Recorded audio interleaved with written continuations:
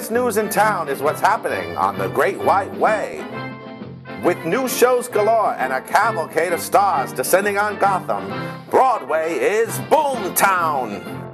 The British are coming! The British are coming! Meet Mary Stuart star Harriet Walter. How does it feel to bring this London smash to the States? I mean, I can't believe I'm here because what you don't know is like four years ago we sat in a restaurant and said, wouldn't it be good to go to New York? And talked about when we could do it. And the next time, all three of us were free myself, Janet McTeer, who plays Mary, Queen of Scots, and Phyllida Lloyd, who directed it. The first time we would all be free to come was now. So we were sitting in this restaurant kind of dreaming, and so I'm kind of going, I'm here.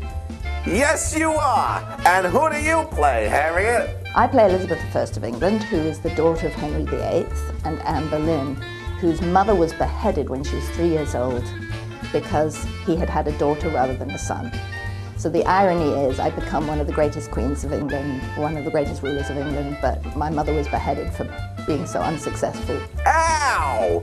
Walk us through the history, Harriet. It takes the story of Tudor England and this enormous moment in our history where the, the, these two rivals for the English throne um, were the focus of several plots, the Catholics for Mary, the Protestants for Elizabeth. So you've got the contrast of these two women who are political rivals because opposite factions want to use them in their fight against one another.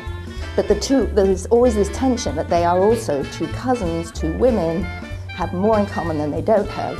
And you'd think all the time, if only they could just talk to one another and meet which is exactly what Mary tries to do. She writes lots of letters saying, please just meet me, I'm sure we could sort this out.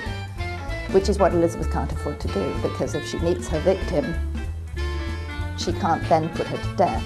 Now, playwright Friedrich Schiller twisted the story, didn't he? Elizabeth in real life was clever enough never to have that meeting, because she knew that would be the end of it. Schiller, like a good dramatist, says, what would happen if they did meet? Let's engineer that meeting.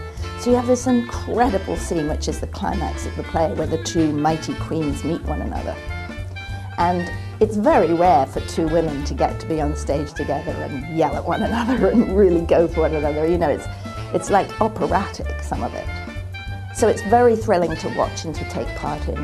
What makes this story great for today? There's the kind of thing, oh, you mustn't, everything's got to be fun because, you know, we're in hard times. And actually, sometimes in hard times, you want to talk hard, you know, and that becomes as thrilling as anything else. And you come out feeling, yes, that's, mm, now I can do something about life because that is what it's really like, you know.